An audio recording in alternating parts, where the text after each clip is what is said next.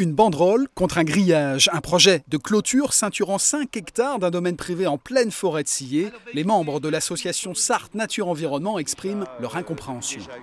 Quand on met une clôture de 2,50 m, on empêche la grande faune sauvage, c'est-à-dire les cerfs et les biches qui vivent sur, la forêt de Sillé-le-Guillaume, euh, d'accéder aux extérieurs de la forêt de Magnal et aux zones de lisière où ils ont l'habitude de se nourrir.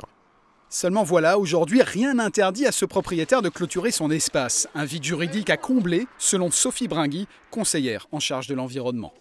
Je vote régulièrement des dossiers euh, pour rétablir les continuités écologiques, pour permettre d'arrêter ce morcellement et de restaurer le territoire. C'est des millions euh, qui sont votés dans l'ensemble de la France chaque année là-dessus.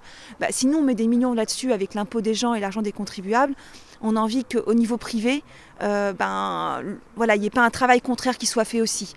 L'association Sarthe Nature Environnement a lancé une pétition en ligne, objectif convaincre le préfet d'instaurer un dialogue entre les différents partis pour une solution alternative.